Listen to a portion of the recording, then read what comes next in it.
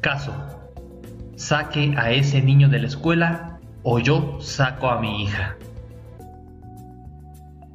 Había en preescolar un niño terrible.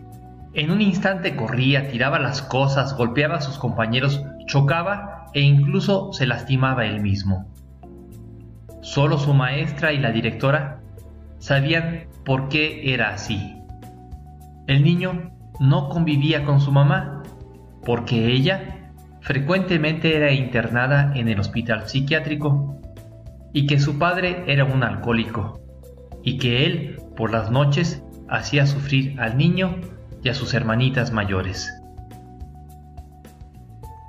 Un día, una madre de una compañerita del grupo de este niño se presentó a reclamar a la directora por la falta de seguridad para su hija. Emocionada, le exigió la expulsión del niño, argumentando que era deber de la directora cuidar a la mayoría del grupo y que el derecho de un solo niño no era suficiente comparado con los derechos de todo el grupo.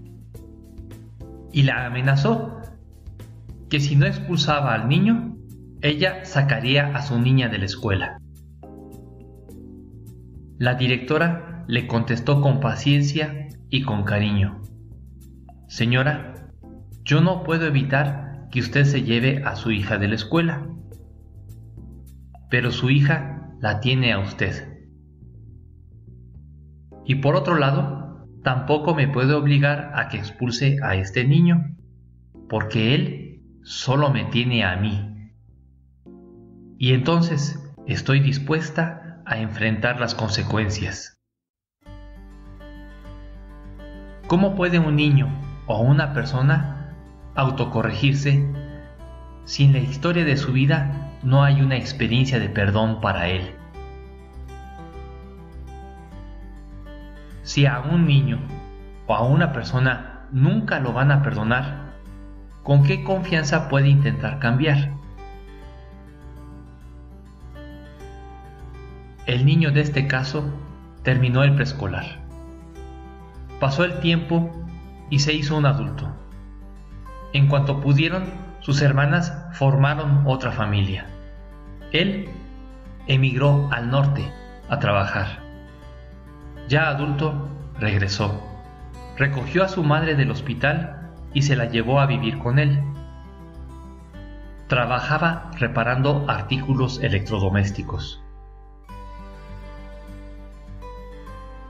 Una de las funciones más importantes de la dirección es la de tomar decisiones, como mantener o suspender a alumnos. Ocurre con frecuencia que algunos padres inmaduros tratan de chantajear a los directores pidiendo la suspensión de un alumno con déficit de atención e hiperactividad, con la amenaza de salirse en grupo. Sin embargo, la experiencia señala que se captan más colegiaturas realizando un trabajo exitoso con alumnos con dificultades de conducta que dejándose chantajear por personas conflictivas.